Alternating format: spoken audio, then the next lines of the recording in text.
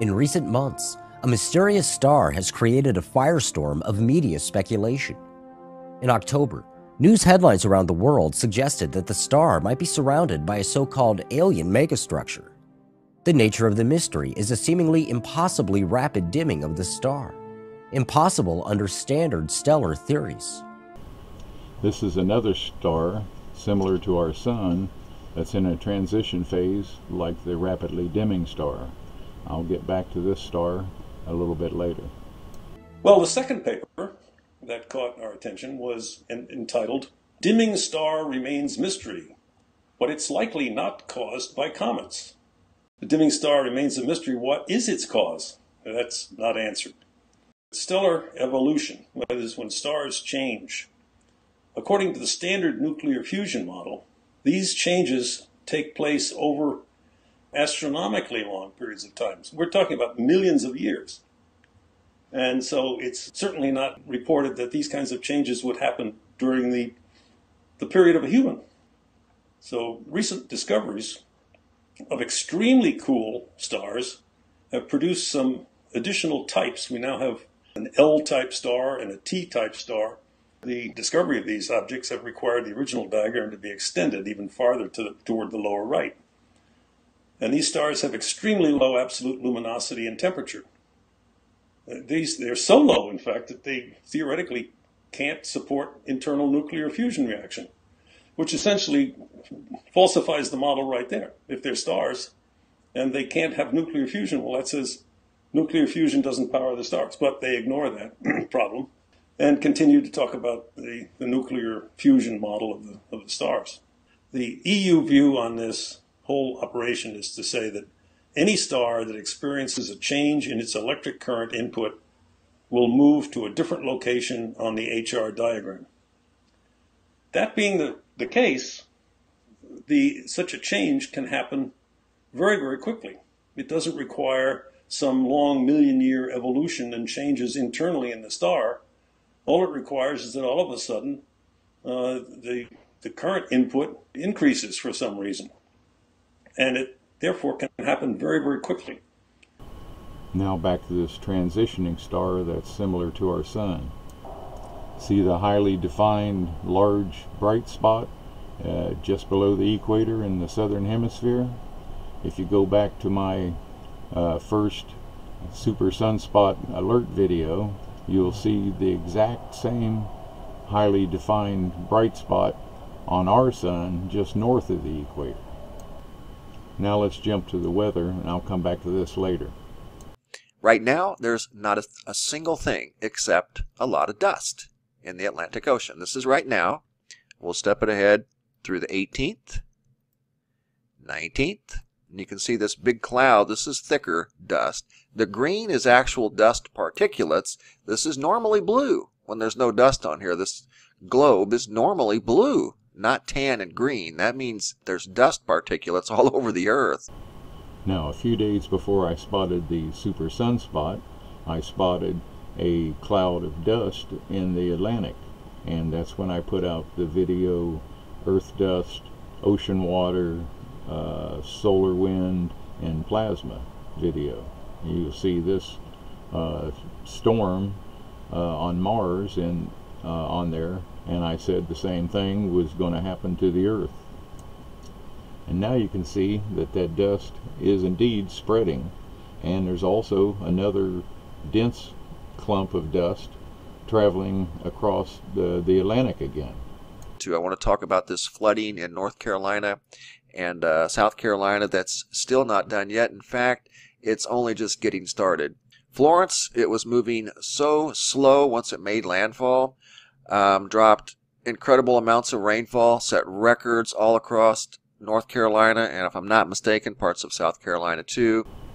Now, in the same Earth dust video, I showed a picture of the red spot on Jupiter, which is a giant storm, bigger than the Earth actually. And that storm sits in one spot for a decade or more. And I said the same thing would happen to the Earth as the dust spread around the Earth. The water icons represent major flooding. And these, in some cases, will be at major flood stage 4, as you can see here on this graph, and it only goes up to the 22nd. Purple is major flood stage, will be in major flood stage through the 22nd, probably the 23rd, 24th, major flood stage up at the Rock Rocky River in Siler City. 24.9 feet, the old record of 14.9 feet being broken by 10 feet. That's amazing. So the reason this storm dropped so much water is because it slowed down and stalled. It's set here for three days, basically, maybe longer. And I've followed hurricanes for many, many years. I'd never seen one do what this one did. It just basically parked over North and South Carolina, and now it's moving northward, and a tornado was spotted by Kirk Stewart and many other people from near Richmond, Virginia. I think this is near or at Midlothian. Now here's a close-up of the storm on Jupiter and you can see that the large storm is composed of a whole lot of smaller storms, different sizes actually. Got a lot of information here, guys. Train derailed, and I think this is in the Charlotte, North Carolina area. Hi, folks, and welcome to another video from A Plain Truth. Now let's take a look at the uh, arc discharge events that are taking place on the East Coast. Some people actually think we're being attacked with lasers. But here you see one of the torched houses, another very, very, very selective fire. And you can see the, the bright flames, the centerpiece. Where did the fires come from? They said it was a gas main explosion, yet the firefighters had never seen anything like it before, and the mayor called it Armageddon. Now see the perfectly round hole cut in the roof of this house?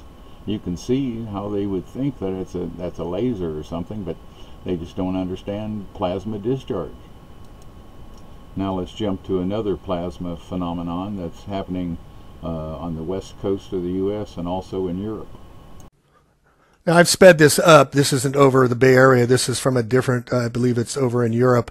This was filmed, and I speeded this up two times, so it's going twice as fast as the normal recorded speed, so you know.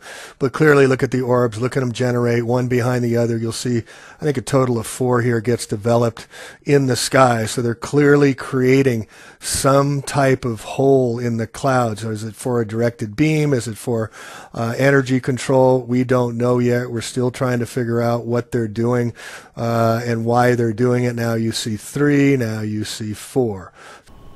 Now notice that there are two holes in the clouds and those are from plasma sheaths punching through the atmosphere and the plasma making a connection to the planet.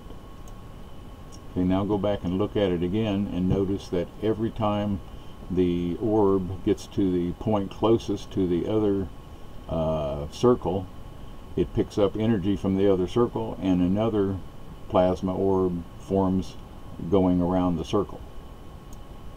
In this picture you see two more holes punched in the atmosphere but you can also see the uh, vortexes forming uh, between the hole punches and the earth. Now here's another hole punch cloud but there isn't enough moisture in the atmosphere, clouds, to form a really defined hole. So you see that the plasma balls in the clouds. Now here's a, another plasma formation that's round, but it's not an open ring, it's a sphere. And notice there's only one of these instead of two rings. Now I have to jump out in space and show you some globular clusters, which aren't talked about very much in uh, astrophysics.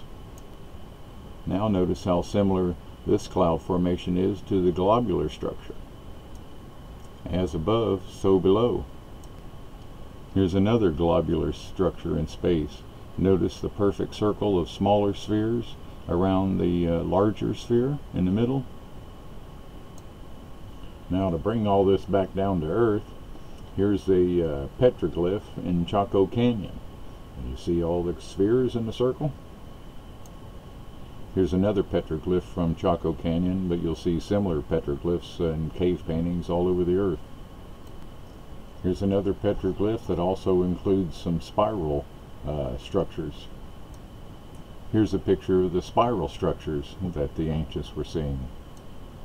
These plasma structures must be really important for so many people to carve them into rocks and paintings and caves all over the world.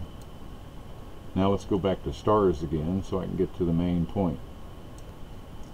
Now here's a star that scientists say is in a slow burn, but actually it's another star in transition just like ours is. I believe our sun will continue to develop into something like this sun. Eventually I think it'll develop a coronal mass ejection similar to this photo here. All of the plasma hitting the Earth then will result in plasma balls similar to this, except there will be a whole lot of them. Here's a map of the Younger Dryas uh, impact areas at the end of the last ice age. Notice that there are two separate areas that do not cover the entire Earth. This shows you that there's a magnetic component to the whole thing. There's another piece of important evidence in Chaco Canyon, which is the sun dagger, which marks the position of the sun the last time the poles shift.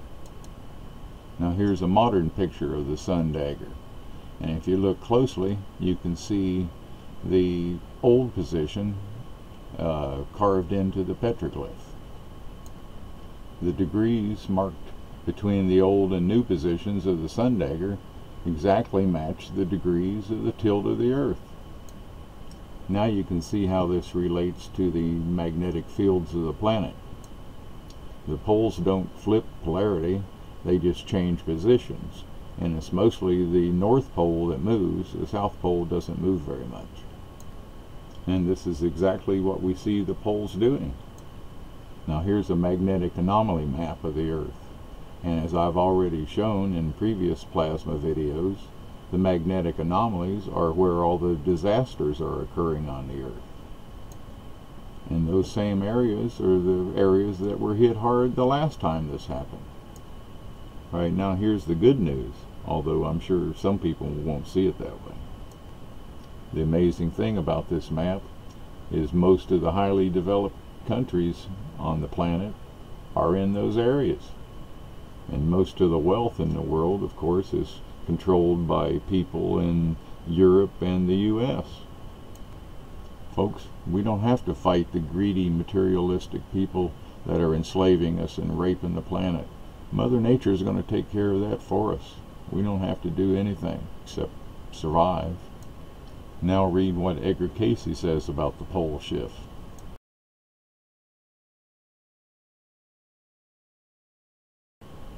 Here's an important quote by Michael Parenti about the problems with capitalism. I believe the Bible is correct and the meek will inherit the earth. These people look all depressed and stressed out like modern materialistic people who are always worrying about their money? Do they look ashamed of their bodies like modern man? Look at this beautiful young woman and everything she's wearing is handmade. That takes an incredible amount of skill and knowledge and creativity. How many modern people do you know that have that kind of skills and knowledge? I want to end with some inspiring quotes that I hope will convince people that we've made a big mistake and we've gone down the wrong evolutionary path. But we have another chance and we can get back on the right path.